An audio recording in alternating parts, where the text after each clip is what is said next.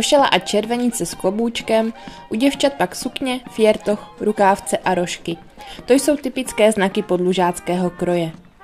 Ten oblékají také v Bulharech, vinařské obci, kde je tradice vína a folkloru silně propojena, obzvláště v poslední srpnový víkend. V pátek se jak místní, tak návštěvníci celé České republiky potůlají po bulgárských sklepech a v sobotu si zážitky obohatí o bujarou hodovou veselici. Začínáme teď, já nevím, asi osmý ročník eh, hodového tulání po sklepech, takže tím jsme vlastně prodloužili ty hody na dva dny. Tady ta chasa chodí vlastně dopoledne zvát, eh, jde ke starostovi pro nějaké to horové právo, jdou do kostela na požehnání a potom se jde sem vlastně průvodem na ten plac, kde se tančí. Toto požehnání platí nejenom tedy stárkům a stárkám, ale všem zde přítomným, ale také celé obci. Ať tedy tato obec, obec krásně vzkvétá Typicky se chodívá zvat už dopoledňa, chodívají i holky, i kluci, ale ten, tento rok to bylo jiná všecko. Jsme si řekli, že to obněmíme, no, že kluci půjdu eh, klasický podlužácké hody vlastně, že by zvali jenom kluci, ale lidem se moc nelíbilo teď tento rok, tak uvidíme, jak to dopadne, no. celkový ten ohlas. A příští rok asi pojem ty klasické bulharské hody, že budeme zvat i s holkama. No. Letos tedy bulharské hody převzaly klasickou podlužáckou podobu. My jsme krojovanou chasu zastihli v okamžiku, kdy vycházela průvodem do kostela na požehnání a následně pak šla opět průvodem na taneční plac.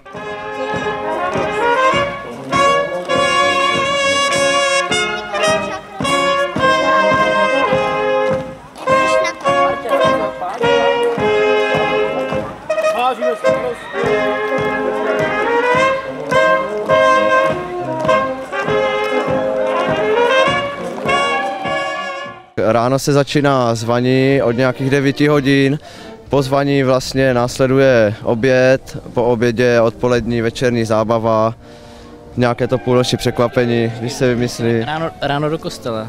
Ráno se chodí do kostela, ráno do kostela zveme potom oběd, od, odpolední zábava, večerní zábava, nějaké to překvapení sem tam se povede. Když, když se povede, no, když se povede.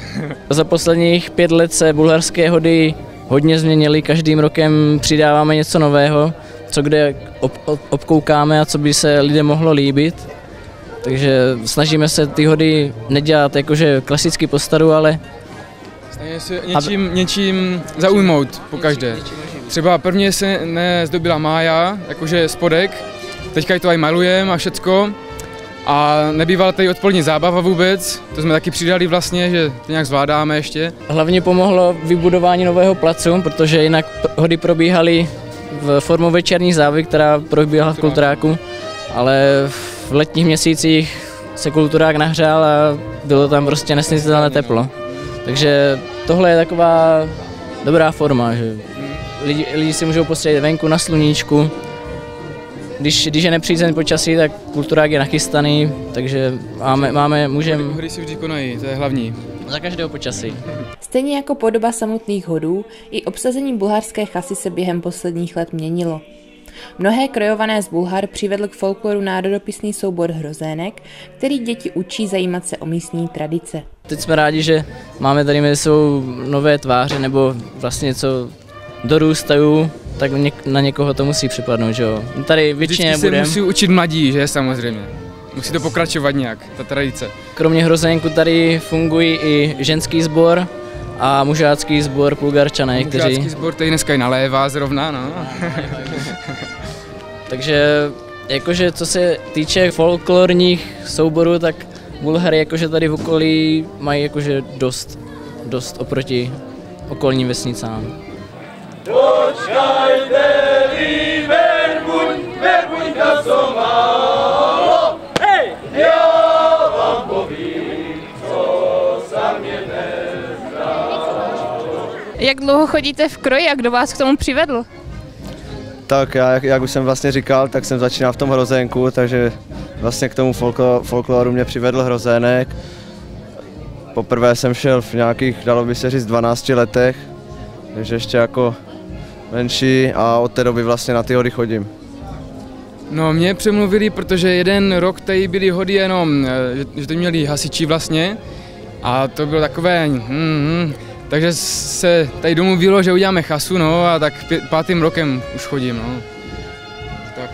Já jsem svoje první hody zažil na Hánáckém Slovácku, v Morkůvkách, kdy jsem tam měl přítelkyni a nějak vyptávali jakože na kroj a to říkám, moc o tom nevím, tak jsem začal jakože se o to víc zajímat a letos jdu po páté v kroji, ale zkušenosti jsem nabíral jakože v různě pohodech, když jsem chodil jsem v, Mik- v Mikulově v Valticích, různě na, na přespole do Lanžota, v Bílovicích jsme byli, ale spíš jakože i něco, něco, něco kluči, uh, učím i kluků, protože kluci moc jakože nikam nejezdili a já jsem provandroval víc hodu, jak, jak tady. Všechno má svůj vývoj, takže i ty bulárské hody se v podstatě tak nějak pořád vyvíjejí, mění podle toho, uh, s čím vlastně nová chasa přijde. Jo? Takže ten vývoj tady určitě je. Bylo to tak, že eh, vlastně tady vznikl národpisný soubor Hrozenek, který založila paní Anna Valuchová a tím vlastně dala základ tady tomu folkloru Bulharech. Jo, který pokračuje v podstatě s těma malýma dětma, kde byli i staří, zpěvačky, takže ten folklor tady je dodnes. Má bulharský kroj ustálenou podobu nebo se nějak měnil během let? Uh, po válce se tady eh, vlastně nosily kijovské kroje, protože eh, tady toto byla obec dosídlená, takže vlastní kroje jsme tady neměli, takže to poválečné období tady bylo spíše v kijovských krojích, ale poslední dobou máme tady vlastně ustálenou mm, kroje jako podluží. Jo. A jak se na hodech podílejí mužáci?